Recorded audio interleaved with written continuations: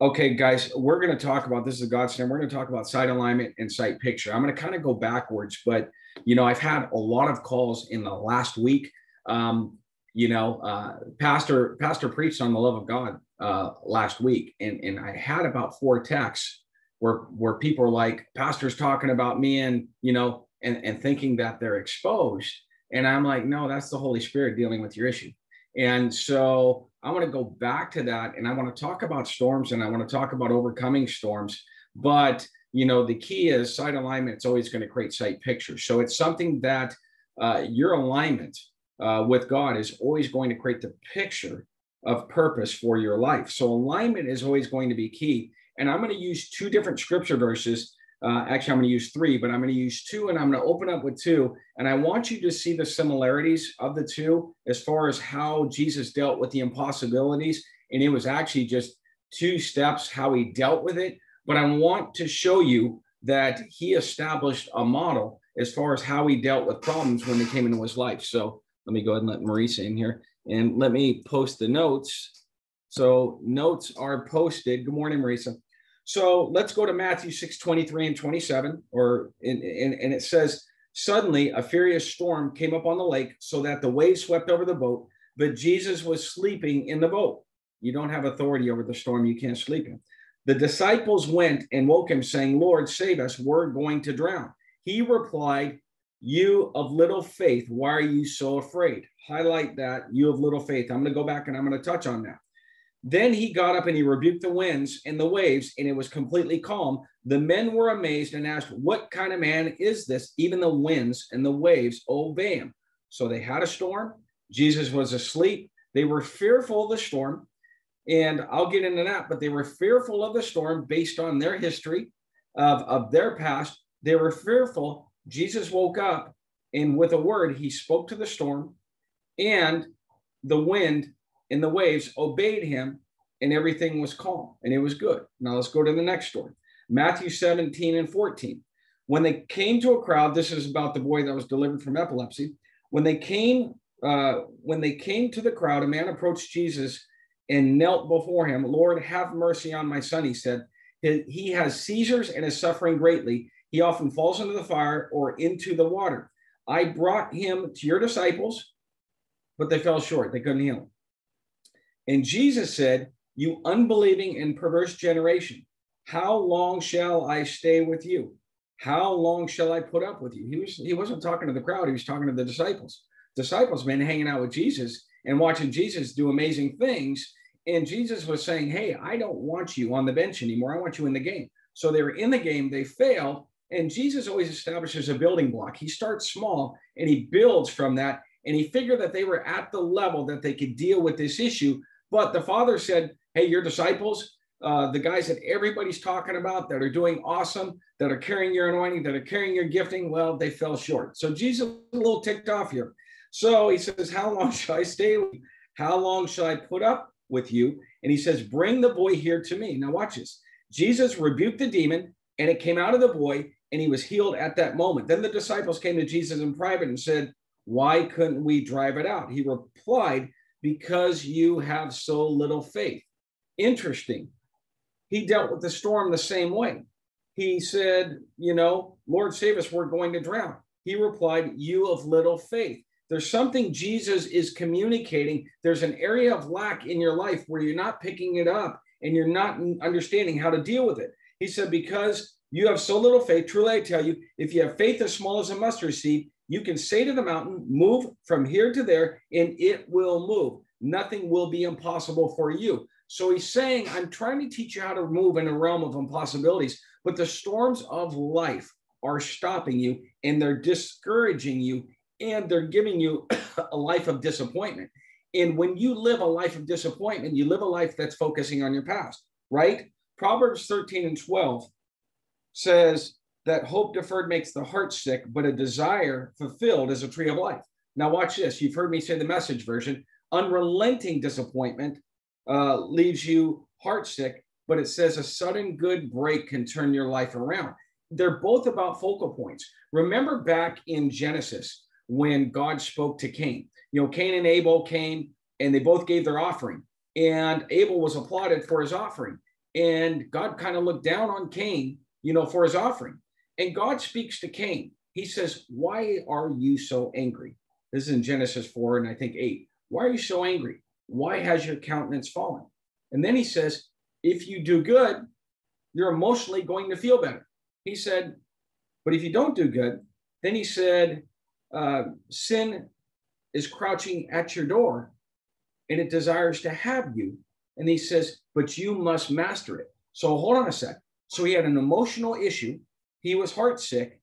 And God speaks to Cain. He says, I need you to master your emotions because it desires to master you, to rule you, to overtake you. Because if you live life by your emotions, you are going to live a life of failure.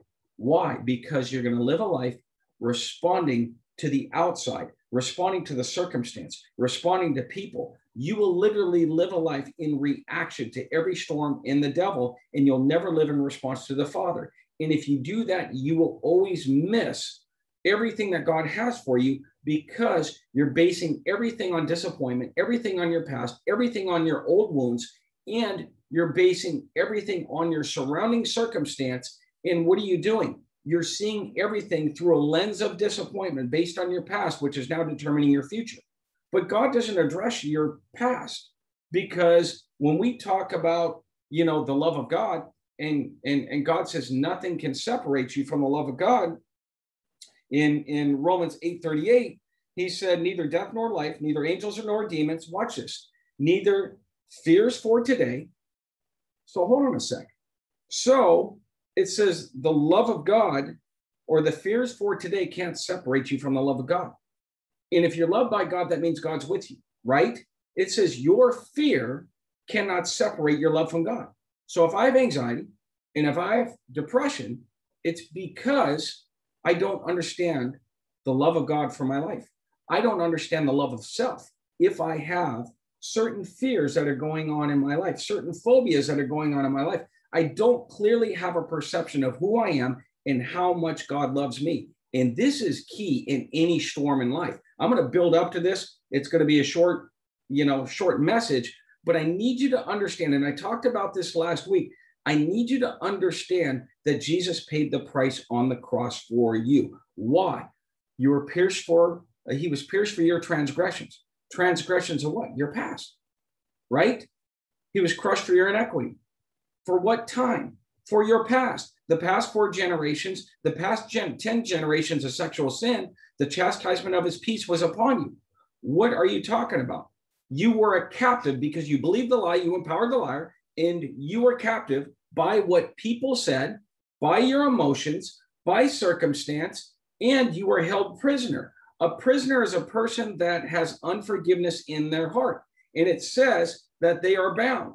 So, your past and your circumstance left you walking away with unforgiveness in your heart. And when you walk away with unforgiveness, you are now bound, right? And you are not free. And when you are bound, and when you read the story of, of the um, uh, the king that that sent the noble into a prison because he would not uh, would not forgive, it said that the torturers or the jailers took him. What happened? Grace came off of his life, and the demonic were allowed to torment him and take him into prison based on unforgiveness. It was an unforgiveness of a debt or an obligation that somebody owed him. They would not release him, and all of a sudden because they would not release him. He stayed attached to the condition, and the demonic were allowed to torment them. So, what happens when I have anxiety? What happens when I have, you know, a, a, a depression? There are issues in my life that I have not forgiven. I have not severed those ties. Therefore, the demonic is allowed to torment me, and I have unrelenting disappointment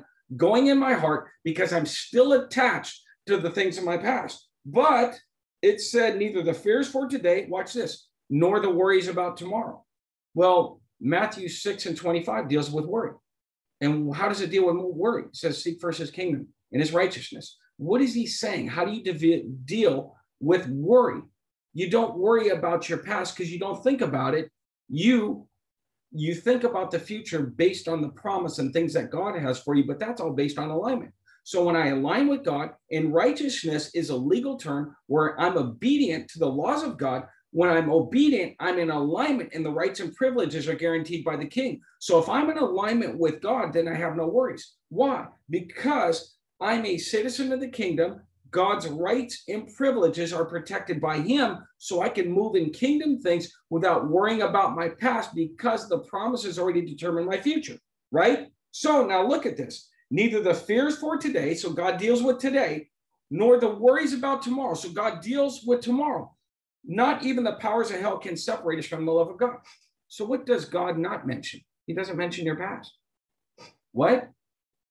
He talks about you being loved today and you being loved tomorrow, but he doesn't deal with the issue of your past, right? So, yesterday cannot remove you from the love of God, but what can it do? It can shut down your awareness of God, right?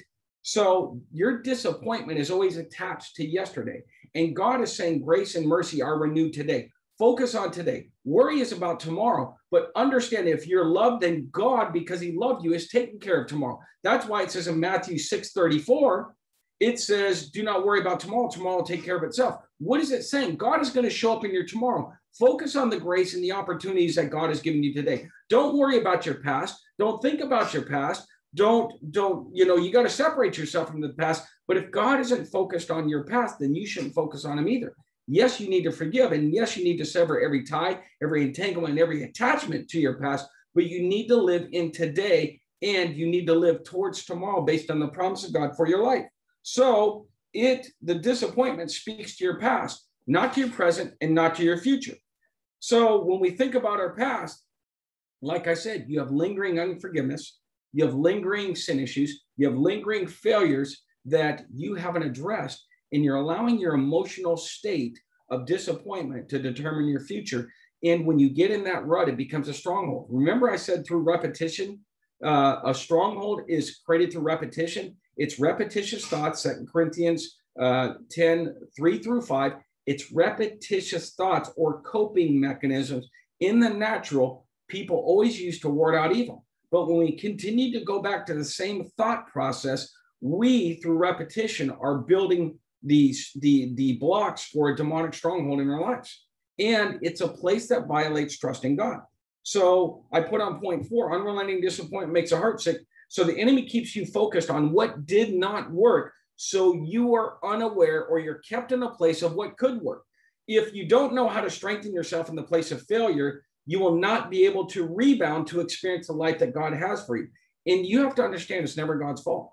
Anytime there's error, it's always going to be on our end, right? Because God's already given us, given us the promises. And I'm going to get into that. But if there's an error, and I noticed this in praying for the sick, when when we started making you know uh, progress and praying for the sick at the altar, you know, we first started getting words of knowledge and we started praying for the sick. All of a sudden, you know, we started running into these problems of deliverance. Well, I didn't really have all the information on deliverance. So I went back to God and prayed about it.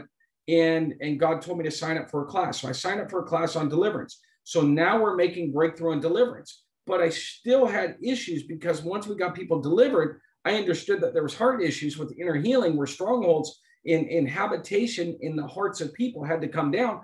But I didn't have the tools for that. And then God goes, get on a plane and fly yourself down to Florida. And that's why I call God Jehovah Sneaky because I ended up signing up for a deliverance seminar, not realizing how many issues I had in my heart. So I had to deal with my own issues. Once I was able to experience, you know, uh, the the redemption that God had for me based on the sins of my past, I was able to now, because I had the authority, deliver people from theirs. But it was a process. So what happened? Every time I failed, I went back to God. And when I went back to God, I asked God, I said, what do I need to do about this? And God would give me direction as far as what I needed to do. And what did I have to do? I had to listen to God. I had to get a word. I had to take that instruction and take a risk and actually apply it. Sometimes I got breakthrough, sometimes I failed. But when I failed, I went right back to God. I said, God, where am I missing you? Right now, watch this. I've been called to several things. And there's sometimes where I felt like, ugh, you know, God, I'm missing it in here. You called me to this thing. It doesn't feel like I'm flourishing in it. But where am I missing it? Because your promise isn't wrong. You spoke, you gave me grace, but somehow I'm missing it in this thing. God, where am I missing it? And that's the place where I'd go to in prayer and I'd ask the Holy Spirit, Holy Spirit, show me where my grace is in this thing because I feel like I'm missing it. And I want to be aware of your redemptive nature in this thing. And I want to be able to get through this storm. I want to be able to deal with this issue, but I just feel like I'm caught up in this issue over and over and over again. And I don't know how to get through it. And that's the place I listen to the voice of the Holy Spirit. Now, understand, I talked about unrelenting disappointment that makes the heart sick, right? So, and if it's not God's fault and I'm supposed to align with God, well, John 3 and 8 says, watch this. I'm talking about a storm. It says, the wind blows wherever it pleases.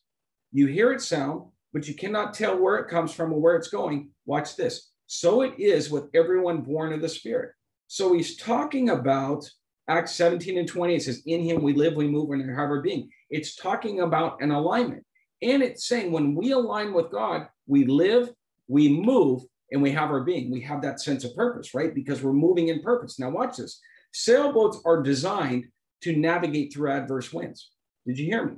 Sailboats are designed to navigate through adverse winds. We are on a sailboat, but the Holy Spirit in his breath gives us the direction through the storm. So when we listen to the prophetic and in, in, in um, uh, Second Corinthians, I think it's First Corinthians 2 and 12, where it says the Holy Spirit reveals to us all things, transferring the resources of his world into ours. What he's doing is he's speaking a word from God to give us an instruction in the midst of a storm to be able to navigate through it. It's not that God doesn't wants to control us. It's that God understands there's still a fallen nature here in this world that has not been redeemed, redeemed by the cross of Jesus because of people.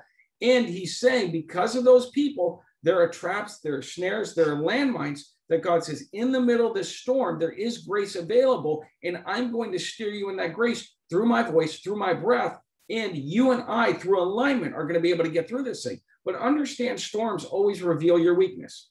Storms always reveal your weakness. And what does that do? When you're in a place of weakness, you have to know where to apply your faith. Faith is always going to girder your place in weakness and it's going to make it strong. So a storm is actually a good thing because it shows you where you're deficient. It shows you what hasn't truly been redeemed by God. Otherwise, it'd be a strength. And because that's not an awareness in the middle of a storm, and that storm continues to persist, it's making you aware of it so you can do something about it because you have all the tools. You just don't know how to use your equipment. So we will progress to the next thing. Children always reveal their father. Genesis 3 and 15. And I'm going to tie this all together here real soon. Genesis 3 and 15. As soon as Adam and Eve fell through disobedience, as soon as they fell, God immediately turns around and says, And I'm going to put enmity between you and the woman. So he says, I'm going to create separation. You're going to hate the enemy, the enemy is going to hate you. That's going to be the separation. You are going to, and that's the purpose of renouncing. You are now opposition. The enemy is now your enemy, right? So he says, I'm going to put enmity between you and the woman and between your offspring and hers. He's going to crush your head and you're going to strike his heel. He's talking about Jesus, but he's also talking about the children of God after Jesus, right?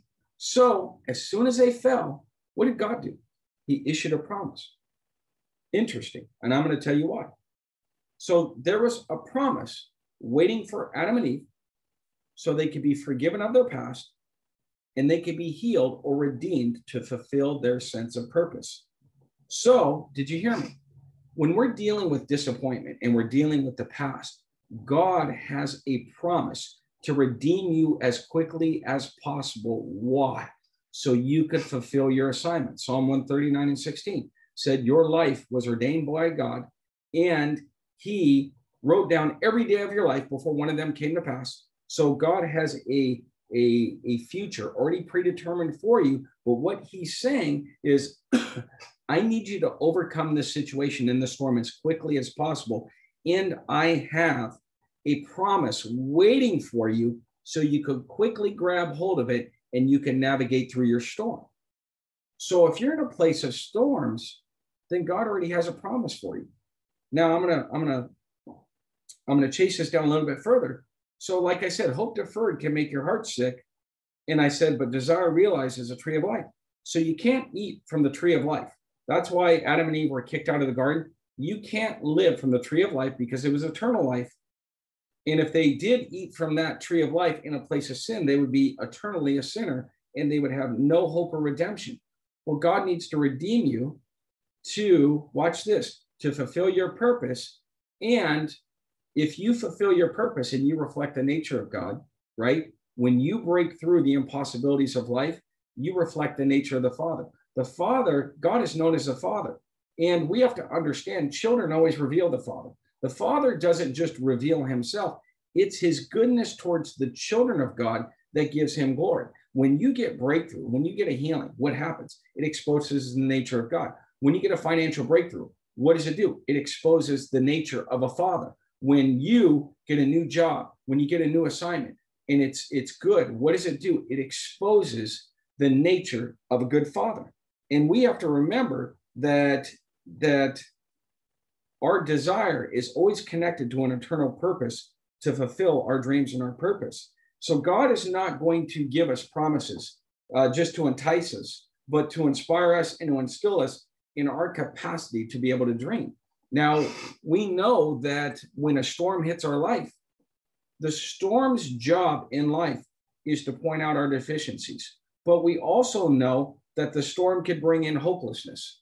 And what happens? Capacity is the room in our heart to have hope or to be hopeless.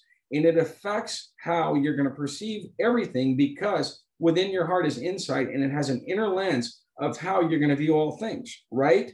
So the promises are the invitation of God into a relational journey where together we labor to see things happen on earth that are going to reveal his nature, right?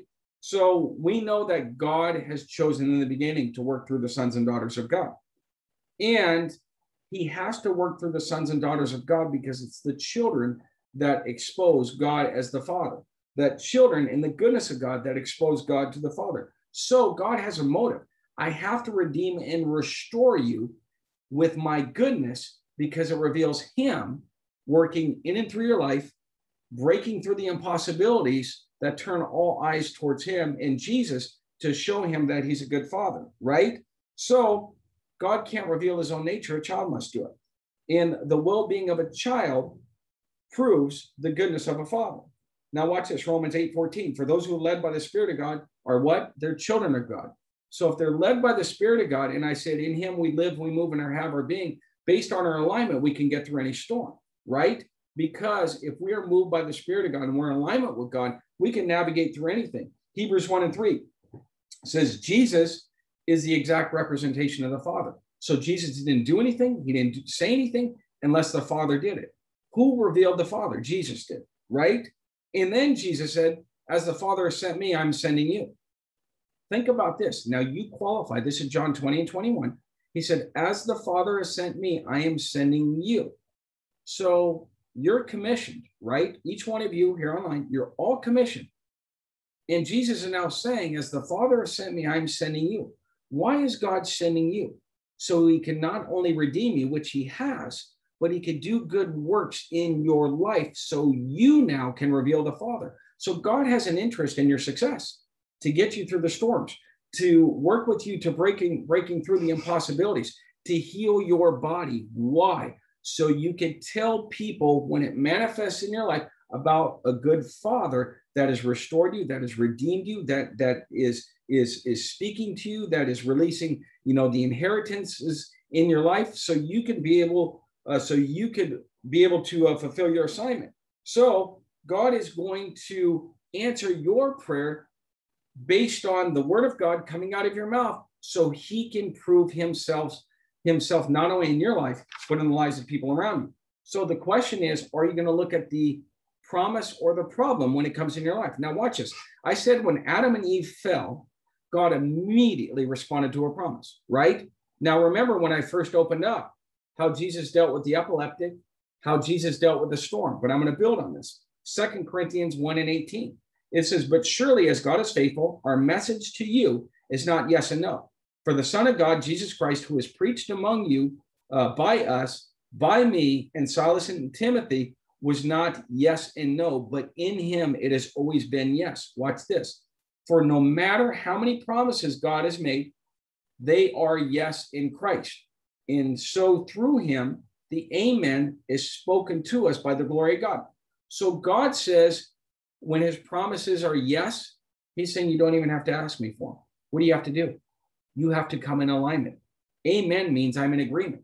So all you have to do is find the promise, come in agreement with it, and appropriate it. That means take ownership over it. And God says, I'm behind you. I've already issued my promise. Some people say, well, God issued 77, uh, 7,700 promises from humanity to, to, uh, to, from God to humanity. I think I looked up on Google 7,487 promises in total in the Bible. I think there's like 8,500. Bottom line is there are thousands of promises from God to humanity that you have access to. And, and what is this saying? For no matter how many promises God had made, they're already available to you. You just have to be aware of them. You have to be able to appropriate them and you have to be able to walk in them. And I'm going to take it a little bit further. And it says, Now it is God who makes both us and you stand firm in Christ. He has anointed us, set his seal of ownership on us, and he's put his spirit in our hearts as a deposit, guaranteeing what is to come. How does God, by his spirit, guarantee what is, is to come? When the spirit of God is within you, right? In First Corinthians 2 and 12, it says that he speaks what's in the mind of Christ into your mind, into your heart, transferring the resources of his world into your world. So he's saying when the Spirit of God is in you, then he can guarantee the promise because he stands behind his word to perform it. Jeremiah 1 and 12. So watch this. Before you had a problem, or you even believed in a promise, God already determined the yes, it's available. Think about this. Your storm that hit your life did not catch God off guard, it caught you off guard. But because it caught you off guard, God is saying that there's already a promise available for your life. All you need to do is align with. Okay. And we have to understand through him, amen is spoken to us by the glory of God. So I find the promise, I come in agreement with it. And the Father decrees a promise.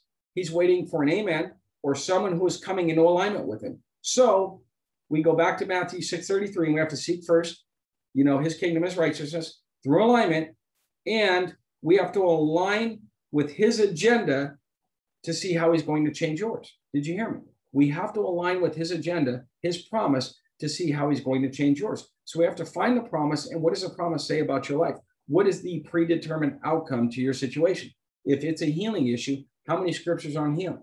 If if it's a prayer issue, what about breakthrough? If it's a deliverance issue based on your hardship, based on poverty, based on sickness, what does the Bible say about that? What are the promises of, of, of God concerning that? Right? So we have to go and we have to find the promises. So when we suffer loss, it matters enough to us to cry out to God so we can have breakthrough so this issue does not happen again. How many storms of the same type do you want to have happen? Can I can I give you a word? I'm going to anyways. A lot of times there are repetitive issues that happen in our life and we think, well, I fail in business. Well, then I, I point the blame onto this person, this person, and this person. Then it happens again. Now I'm pointing it to this person, this person, and this person. Guess what? The issues and the storms that you're dealing with are going to persist until you get a promise for breakthrough for your life. So a lot of times, you know, I, I, I look back, I had multiple girlfriends before getting saved, and every single one I'd say it's their issue, their issue, their issue, their issue. But I would never get through the issue because it was always easy to blame that other person. And I quickly realized God is going to continue to bring me people in my life. But if I don't get beyond my issue, it doesn't matter the people that I'm dealing with. It's always going to be the same storm. Eventually, I got to deal with my own issue and I got to take ownership over that issue. And it's not somebody else's fault. Usually, it's my perception of it. And usually, it's because I'm not in alignment with the promise because I'm in alignment with the problem, right? And so, what happens when I align with the problem? I speak the problem. And what happens? Whatever I decide and decree upon anything, God says it'll be established. So I'm establishing good or evil based on the words that are coming out of my mouth. So internal realities are always going to manifest externally, right? Because I have authority over all things. And all things spiritual are going to respond to my voice. And spirits will respond to the speed of my voice to create the very thing that I'm speaking into existence. So the question is, what am I in alignment with? So when I suffer a problem, I go back to God and I'm honest with God. I'm like, God, how do I deal with this issue? Because I don't want this problem to continue to persist. I want by your spirit to maneuver through this thing because I understand my promised land is on the other side of this storm. I just need to get to the other side. But I need breakthrough. So I have to keep going back and forth with God.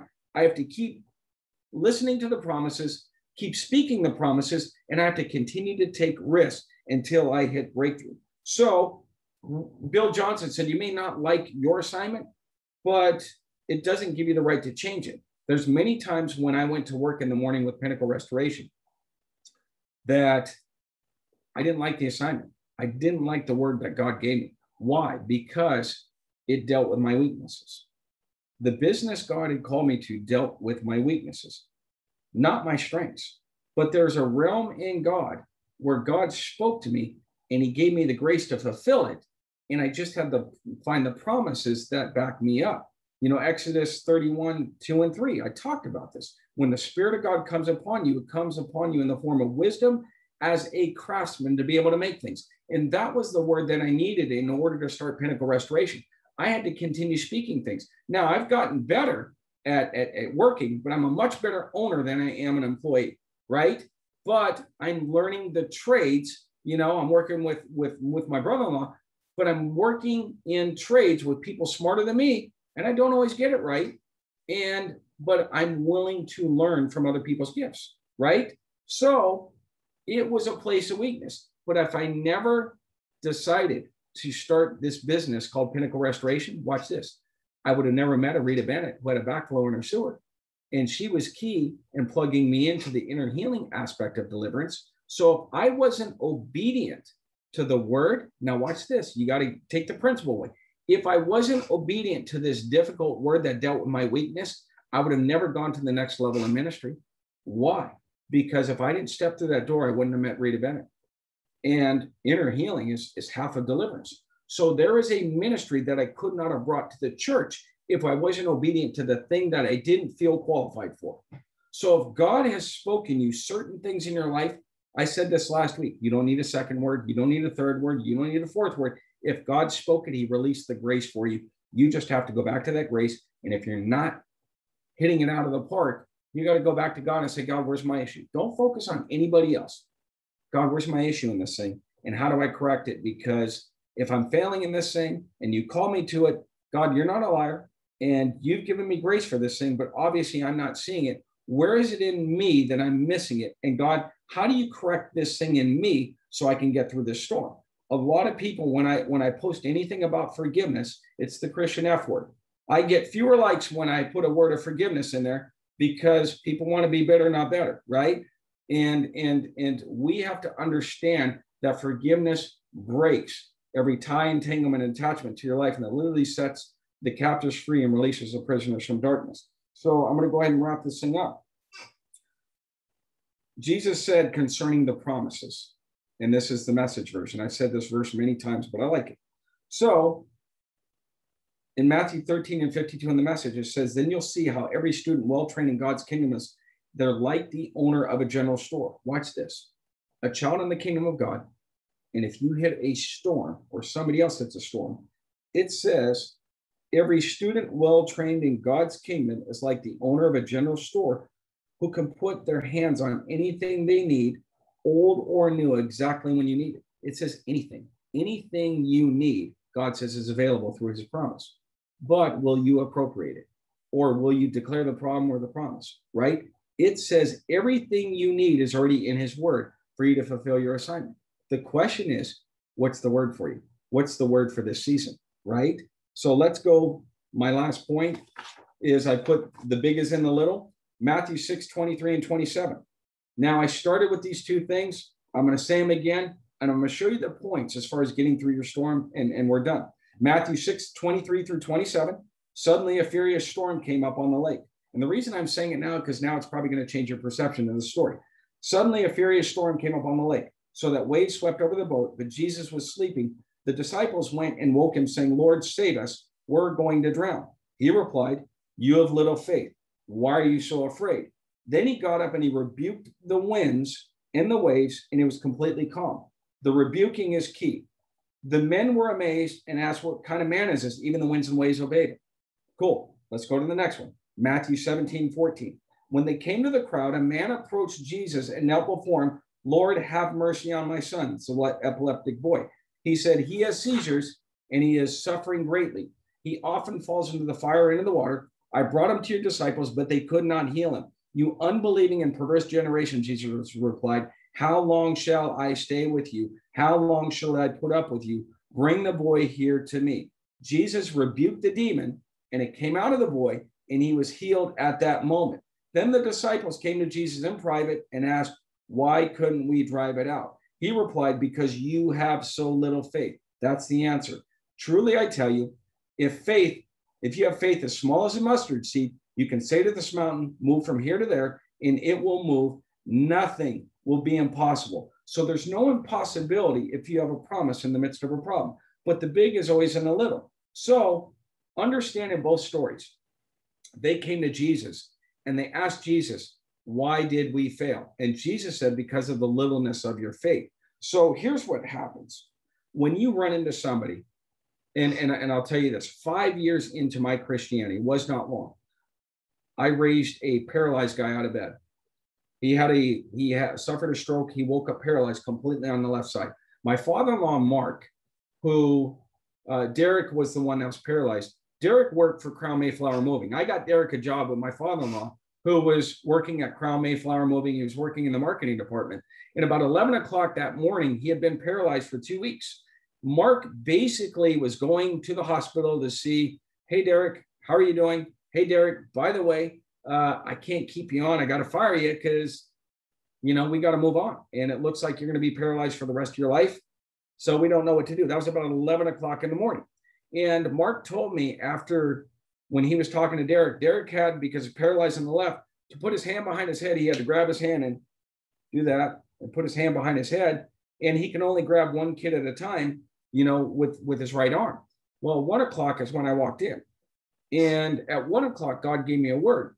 And I went in there with Jimmy and we prayed for him and it didn't work. And then I said, God, I said, watch this. I said, God, why is this not working? Think about this. God, why is this not working?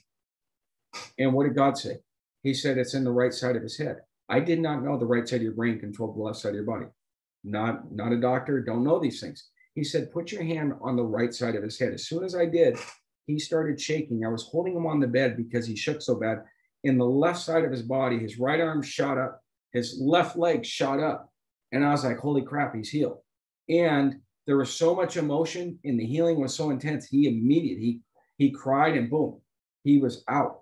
And I looked over at Jimmy and I'm like, oh my God, he got healed. And so we walked out. So what happened with me is a gift of faith came on me.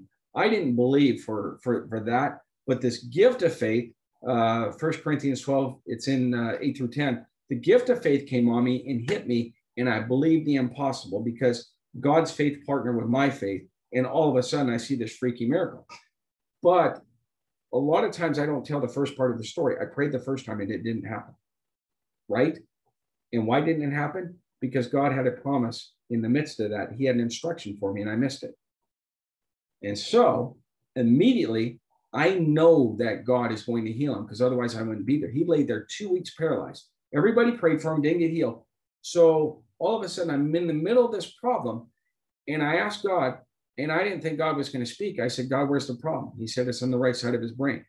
I didn't even pray when I put my hand on his head. All I did, God said, put your hand on the right side of his head. As soon as I did, his whole body started vibrating. So you mean in the middle of your problem, there was an instruction? Yes, I missed it the first time. But what did I do? I stayed in my problem until I got the promise. Think about this. I stayed in my problem until I got the promise. And what was the end result? Now, watch this. The disciples failed in the boat.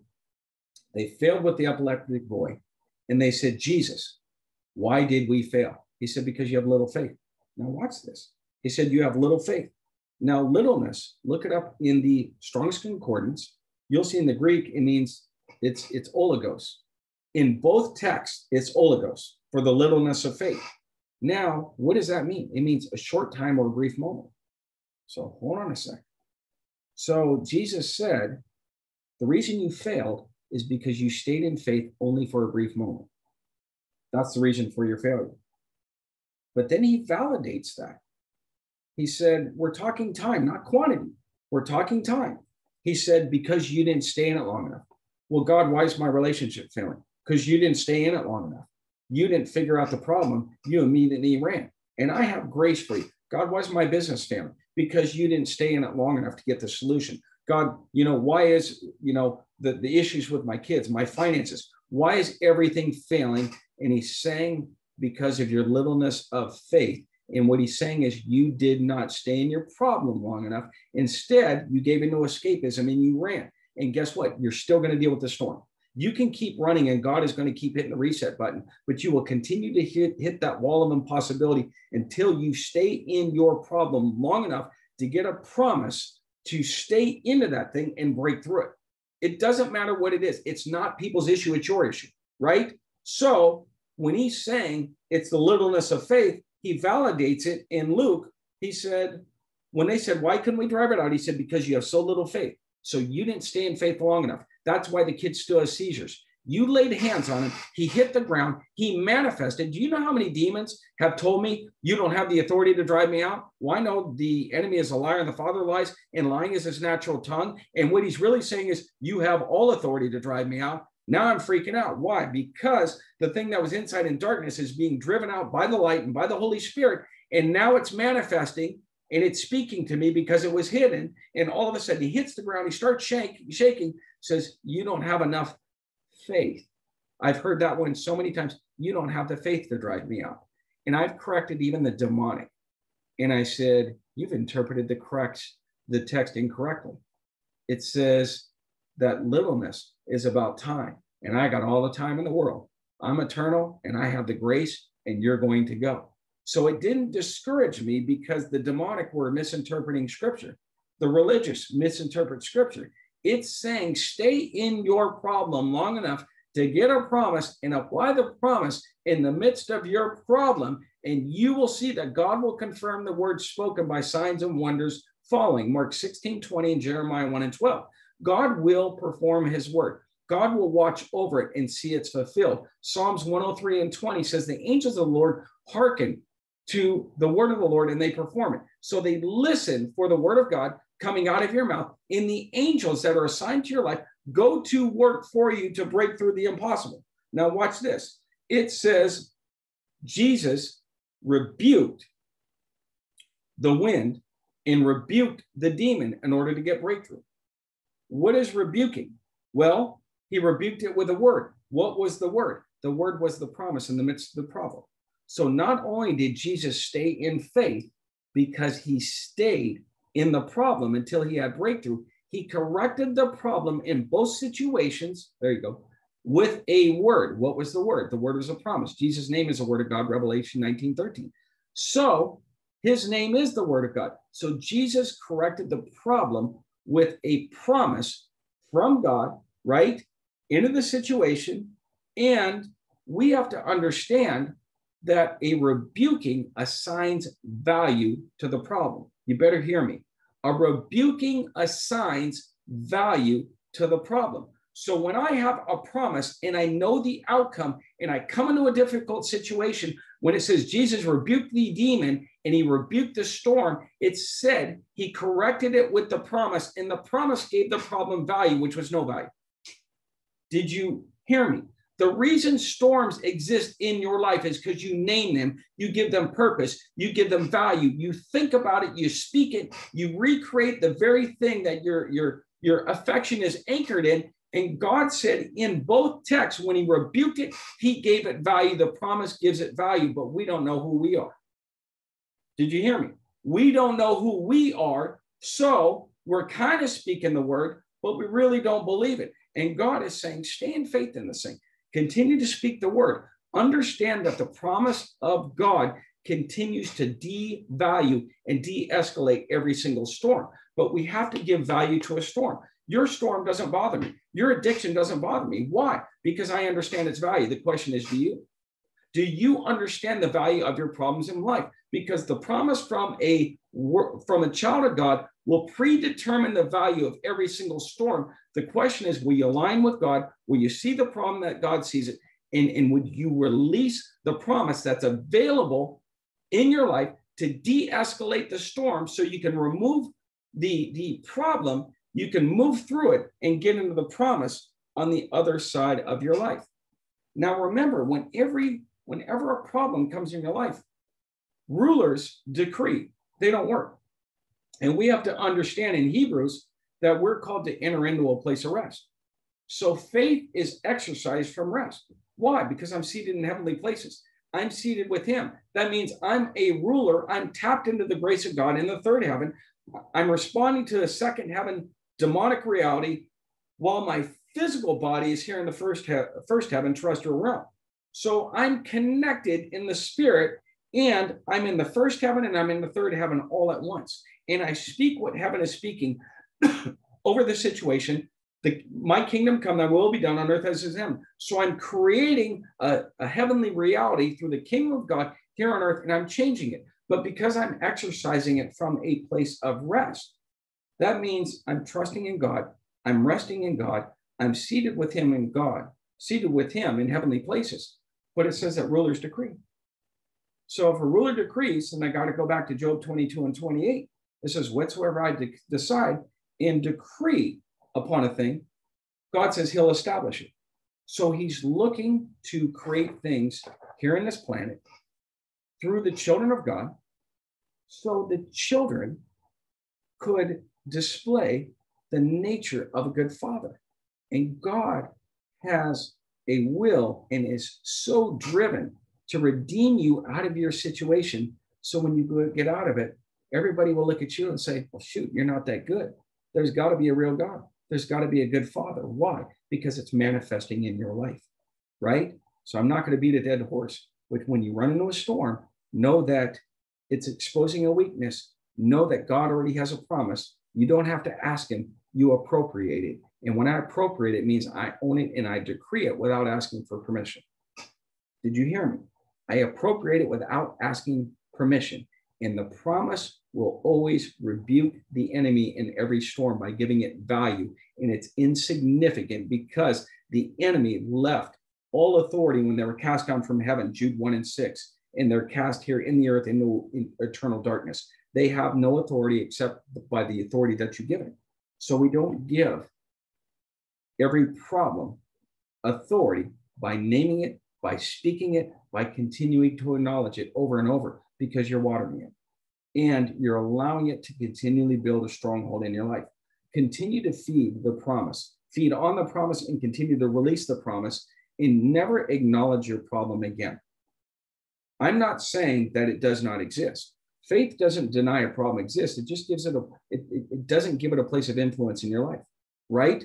So we cannot give the problem a place of influence.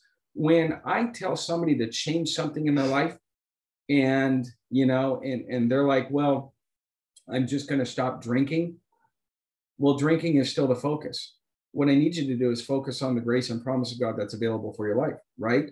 So we live by the Spirit, not the, the lust of the flesh. In order for change to be created, you have to change your diet, meaning you have to change what you consume and what you take in on a daily basis.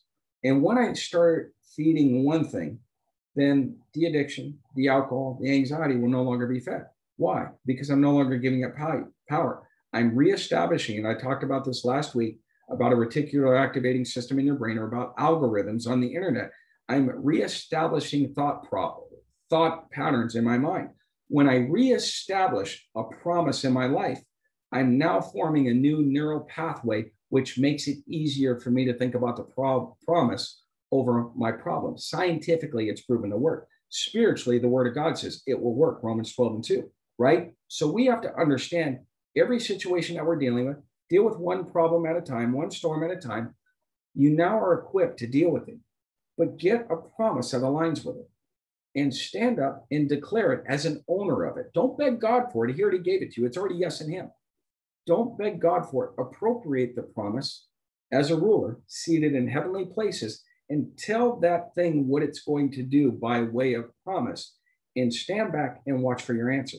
It may not happen the first day, the second day, but the Bible says if you speak to the mountain with little faith, and little faith is persistent faith, it said your problem is going to move and your possibility will give way to the possibility of God, right? We have to be able to stay in this thing. We have to own our stuff. We have to address it. We have to speak to it. And God says it will move. He'll confirm it. He'll perform it in his time. but do not allow the problem to be empowered in your life or persist any longer. Stand up and fight, right? Stand up and fight. You have the word, which is your sword, and do not tolerate evil any longer. When we don't know how to fight evil, we become dismissive of it. Do not tolerate it and say it's not that bad. Start dealing with your issue. Amen. So, guys, I'm going to go ahead and, and I'm going to pray you out. But let me go ahead and stop the recording. And